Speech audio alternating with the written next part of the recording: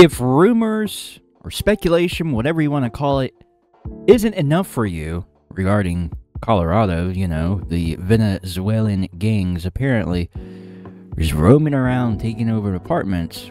Although Denver 7 says APD Aurora, Colorado police, uh, they did not find any evidence supporting these claims. But if that wasn't enough, U.S. seizes Venezuelan President Maduro, uh, who sees his plane apparently. I'm just gonna read this this quick snippet. This morning, the Justice Department seized an aircraft we allege was illegally purchased for 13 million. Oh, excuse me, 1.3 million? Nope, 13 million through a shell company and smuggled out of the United States for use by Maduro and his cronies. That's one way to put it.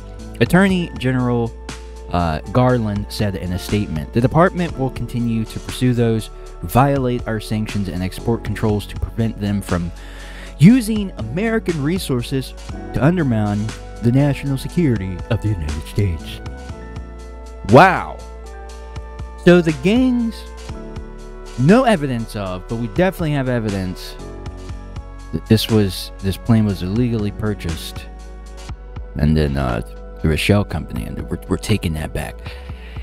Everything is all over the place. I'm telling you, I don't. I, I am just. This is this is just a lot. And if that's not enough for you, if that's not enough for you, here's another one. Five defendants, including two doctors, charged in connection with actor Matthew Perry's fatal drug overdose last year. So the Los Angeles, Los Angeles apparently, uh, justice.gov, a licensed physician and an alleged San Fernando Valley drug dealer were arrested today in connection with the death of actor Matthew Perry, who suffered a fatal ketamine overdose in October 2013. In total, five defendants, including two doctors, have been charged with the matter, according to court documents unsealed today. The defendants arrested today are charged in an 18 count superseding indictment returned on Wednesday with a disturbing ketamine with the disturbing ketamine to uh, Perry's uh, final weeks of the actor's life. So, Jasmine Shanghai, 41, aka the ketamine queen of North Hollywood, and Dr. Salvador uh, Plencia, uh, sorry if I butchered his name, 42, aka Dr. P of Santa Monica.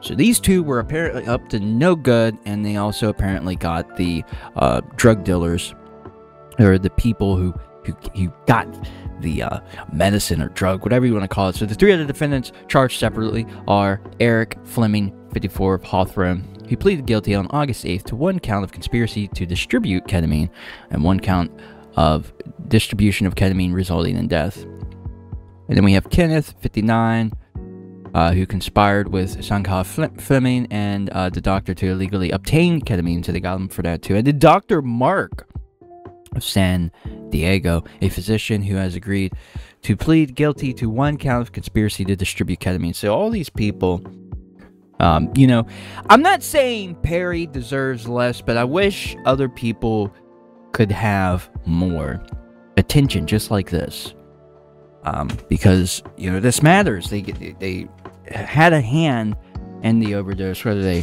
want to or not. They gave them the drug, and this is what happened.